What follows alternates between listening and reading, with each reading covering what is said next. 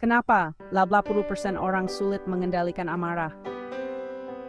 Tenang, ada cara untuk mengatasinya. Marah itu wajar, tapi kalau berlebihan bisa menyakiti diri kita dan orang yang kita sayangi. Tarik napas dalam-dalam, lewat hidung, keluarkan lewat mulut. Bayangkan tempat favoritmu, pantai, hutan, di mana saja yang membuatmu merasa tenang. Fokus pada detailnya, suara ombak, gemerisik daun. Sekarang, hitung sampai 10. Pelan-pelan. Rasakan ketegangan itu mereda. Saat kamu merasa lebih tenang, pikirkan apa yang memicu amarahmu. Apakah itu sepadan? Seringkali kita sadar tidak. Ingat, kamu memegang kendali.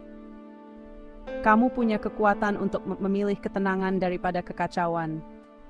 Latih langkah-langkah ini setiap hari, dan sebentar lagi kamu akan menyadari amarah tak lagi menguasai dirimu. Kamu pasti bisa. Tetap tenang, tetap kuat, dan temukan kedamaianmu.